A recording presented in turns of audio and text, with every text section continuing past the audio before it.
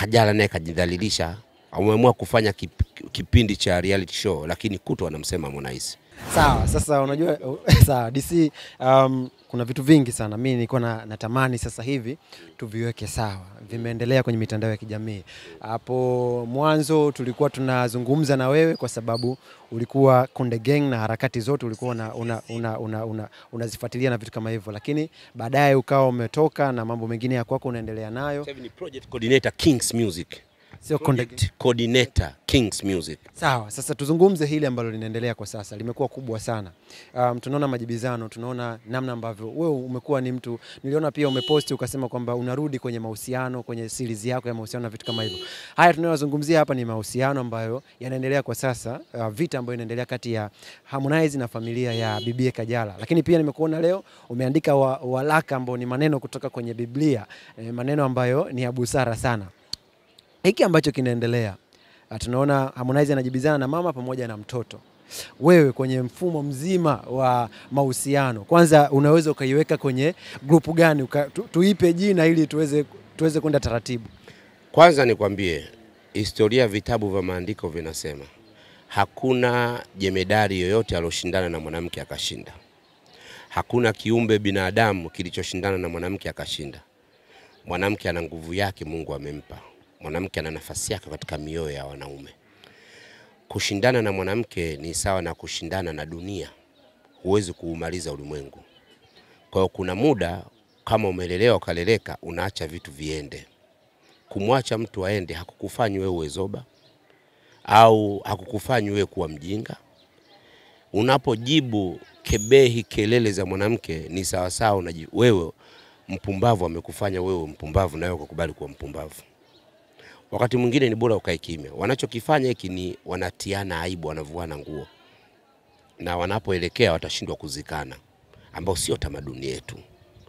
Shindaneni kikazi, shindaneni katika kukuza, sio kushindana katika kuaibishana. Mimi sikutegemea kama katika ulimwengu huu yuko mwanaume atasimama kujisifu, kutoa kitu kwa sababu ya Mungu, alafu kuja kujisimama kujisifu. Nilikuwa najua hiyo dunia nyingine, sio dunia tunaoishi sisi. Kajala naye kajidhalilisha, ameamua kufanya kip, kipindi cha reality show, lakini kutu anamsema Harmonize. Harmonize naye kajidhalilisha, anatumia muda mwingi kukaa kuandika mipasho, mambo aliyomfanyia mwanamke leo hivi. Leo wanaume wote wakisema waandike mambo waliofanyia wanawake, kuna kitu kitabaki duniani? Tunawafanyia mambo mengi sana wanawake, tunawafanyia mambo mengi sana wanawake, kwa sababu Mungu, vitabu vya dini vimeumba hivyo, vimesema hivyo, mwanamke anatakiwa kuhudumiwa na mwanaume. Ndio maana sisi Waislamu tunasema arrijalu kawamuna ala nisai, mwanaume ni kiongozi wa mwanamke katika nyanja zote, financially, economic, nini, socially, yani nyanja zote mwanaume ni kiongozi wa mwanamke. Sasa kumsaidia si ajabu, kumstiri si ajabu. We si wa kwanza na wala hutokuwa wa mwisho. Wapo wengine watakuja kuwasaidia na kuwastiri wanawake. You don't need to shout out. Hauhitaji kuzungumza ulichomsaidia mwanamke. Sawa, umemsaidia mama yake, umejenga ukuta, sijui geti, fence, umemsaidia babake kumpeleka hospitali. You don't need to say umemsaidia wale, umepata baraka zako kwa Mungu. Off you go, endelea na maisha yako. Lakini pia Kajala naye hatakiwi kujibu. Yani wang, mimi ningefurahi ningeona huyu anasema no, wewe mbaya, mimi na deserve mwanamke mzuri zaidi. That's okay, lakini kuingia kwenye mambo ambayo mmefanyana kwa sababu ya kutafuta nusura pepo ya Mungu, you don't need to shout out and we don't need to hear that.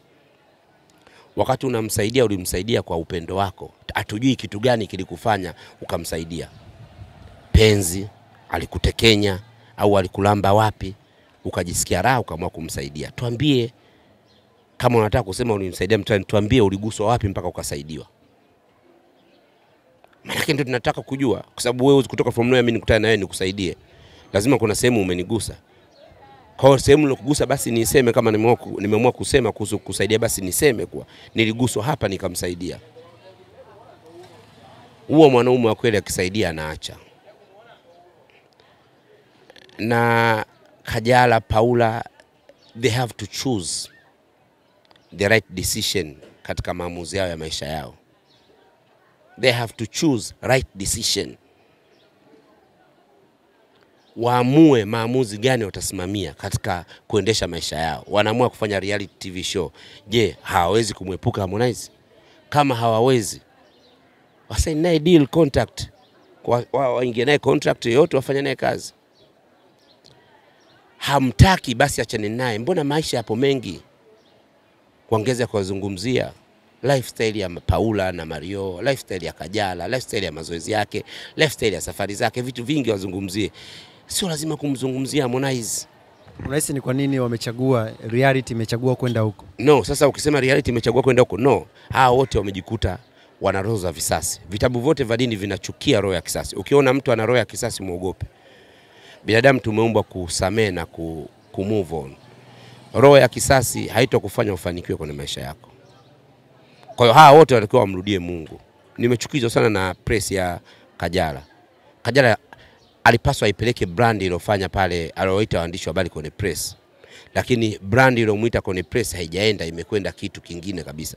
Kulikuwa na haja gani kujibu ndio babake katibiwa, ndio gari analo hajauza, ndio natumia na nyuli za password yake za, za, na password ya ATM yake, ya nini ujibu?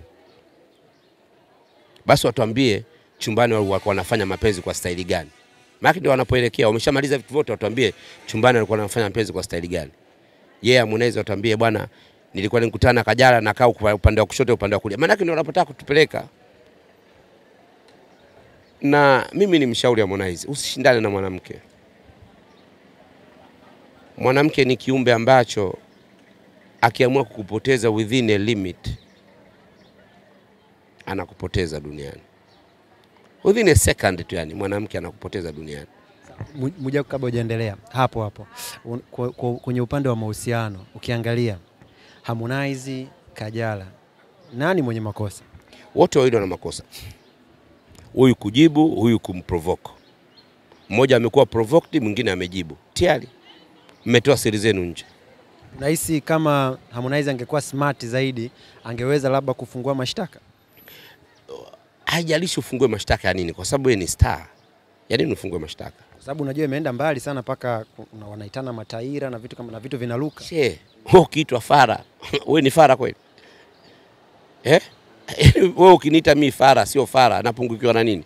Mambo yangu yanaenda, maisha yangu yanaenda. Kwa kuna vitu hivyo, kuna mtu anasemwa kama mimi, lakini kuna kitu kimebadilika kwenye maisha yangu. Sana sana napata hela zangu, naishi vizuri, nalala pazuri, nakula ninachotaka, nafanya ninachotaka. Kwa hiyo kuna muda vitu vingine vikija, viache vipite.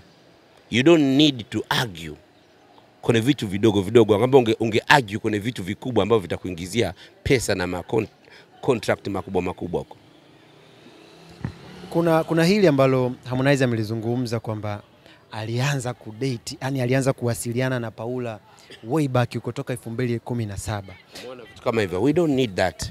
Mnakwenda kuharibu future ya Paula, unakwenda kuharibu ndoto ya binti mdogo ambaye pengine alikuwa hajifahamu, hajitambui alichokuwa nakifanya, na wanapoelekea wanakwenda kufufua kesi ya Rayvanny na Paula. I'm telling you, wanakwenda kufufua kwa sababu maovu yote yanakwenda kufufuka. Maana maovu ukiyafufua unategemea nini? Wataanza ku trace back. Tuangalie ile kesi ilishia wapi. Kwa nini kesi ilishia juu juu? Sababu mnakwenda kuvumbua vitu ambavyo havihitajiki, hata kama hata kama ulikuwa na wewe ndio mtu wa kwanza kuwasiliana naye, you don't need eh, kuja kuexpress sasa hivi kutuambia kwa ukubwa ule. Mstiri mtu mwe, sisi kwa, di- kwa imani yangu, ukimstiri binadamu mwezio Mungu atakustiri ya umul arshi. Mstiri binadamu mwezio Mungu atakuja kukustiri. Mimi ni mwombe amstiri Paula, bado ni binti mdogo sana.